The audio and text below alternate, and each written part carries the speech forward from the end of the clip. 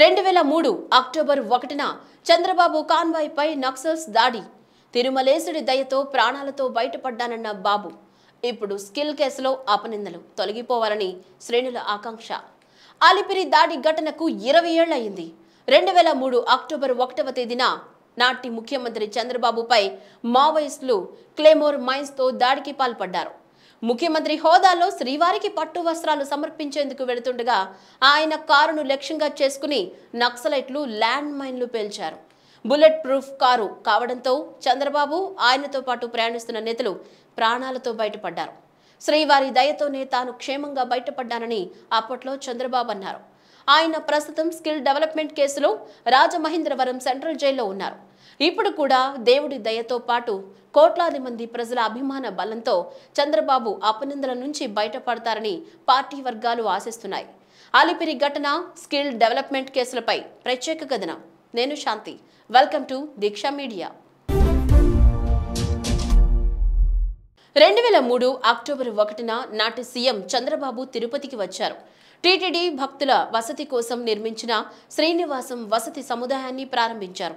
ఆనవాయితీ ప్రకారం శ్రీవారికి పట్టు వస్త్రాలు సమర్పించడానికి ఆయన బయలుదేరారు. చంద్రబాబు కారులో నాటి మంత్రి బొజ్జల గోపాలకృష్ణారెడ్డి ఎమ్మెల్యేలు రెడ్డివారి రాజశేఖర రెడ్డి చదలవాడ కృష్ణమూర్తి ఉన్నారు. అలిపిరి టోల్ గేట్ మీదుగా కాన్వాయ్ ఘాట్ రోడ్లో వినాయకుడి గుడి తర్వాత వచ్చే మలుపులోకి వెళ్ళేసరికి ఒక్కసారిగా పెద్ద శబ్దం వచ్చింది. దుమ్ము పొగ ఎగిసిపడ్డాయి. కాన్వాయ్లోని పోలీసులు అధికారులు అనుసరిస్తున్న మీడియా ప్రతినిధులు వాహనం టైరు ఏదో పేలి ఉంటుందని భావించారు. దుమ్ము పొగ తొలగిపోయాక చూస్తే చంద్రబాబు ప్రయాణిస్తున్న కారు దెబ్బతిని బోల్తా పడి ఉండటం కనిపించింది. అప్పటికి గాని చంద్రబాబు కారుపై దాడి జరిగిందన్న విషయం తెలియలేదు. ఆ వాహనం బుల్లెట్ ప్రూఫ్ కావడంతో పెద్ద ప్రమాదం తప్పింది. ఆయన స్వల్ప గాయాలతో బయటపడ్డారు. కారులో ఉన్న బొజ్జల స్వల్పంగా గాయపడగా రెడ్డివారి రాజశేఖర రెడ్డి చంద్రవాడ కృష్ణమూర్తి తీవ్రంగా గాయపడ్డారు. పోలీసులు హుటాహుటిన చంద్రబాబును తొలుత రుయా ఆసుపత్రికి తరలించారు. కాలర్ బోన్ వద్ద గాయం కావడంతో ఆయనకు చికిత్స అందించారు.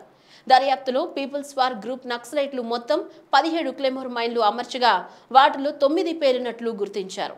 ఘటన తర్వాత కేంద్రం చంద్రబాబుకు జెడ్ ప్లస్ కేటగిరీ భద్రత కల్పించింది. ఇప్పటికీ అదే కొనసాగుతోంది. అప్పటి నుంచి ఎదురు లేకుండా సాగిన చంద్రబాబు రాజకీయ యాత్రకు రెండు వేల పంతొమ్మిది ఓటమితో కష్టాలు మొదలయ్యాయి. జగన్ సీఎం అయిన నాటి నుంచి పాలన ఎలా ఉన్నా ప్రధాన ధ్యేయం టీడీపీ ముఖ్య నాయకులను అరెస్టు చేయాలి. టీడీపీని బలహీనపరచాలి. టీడీపీ అధినేత చంద్రబాబు నాయుడు లోకేష్లను అరెస్టు చేయాలనేదే లక్ష్యంగా ప్రస్తుత పరిస్థితులను బట్టి కనిపిస్తోందని రాజకీయ పరిశీలకులు చెబుతున్నారు. అలిపిరి ఘటన తర్వాత చంద్రబాబు నాయుడును అంతగా బాధించింది స్కిల్ డెవలప్మెంట్ కేసులో అరెస్ట్. సుమారు ఇరవై ఐదు రోజులుగా రాజమండ్రి జైల్లో ఉన్నారని ఏ తప్పు చేయలేదు ఎందుకు భయపడాలి న్యాయం మా పక్కనే ఉంటుంది నాడు ఆ ఏడుకొండల వాని దయ వల్ల బయటపడగా నేడు కూడా ఆయన దయతోనే అన్యాయాన్ని ఎదుర్కొంటామని మాకు రాష్ట్ర ప్రజల అండాదండా ఉందని చంద్రబాబు సతీమణి నారా భువనేశ్వరి తెలిపారు. అలిపిరి ఘటన నుంచి ఎలా బయటపడ్డారో ఈ అక్రమ కేసు నుంచి చంద్రబాబు బయటపడతారని రాష్ట్ర ప్రజలు ఆశిస్తున్నారనడంలో సందేహం లేదు. ఆలస్యంగా అయినా అన్యాయంపై న్యాయం గెలుస్తుందంటారు. ఏం జరుగుతుందో చూద్దాం. ఈ వీడియో కనుక మీకు నచ్చినట్లయితే సబ్స్క్రైబ్ చేయండి లైక్ చేయండి షేర్ చేయండి. మరిన్ని అప్డేట్స్ కోసం బెల్ ఐకాన్ని క్లిక్ చేయండి.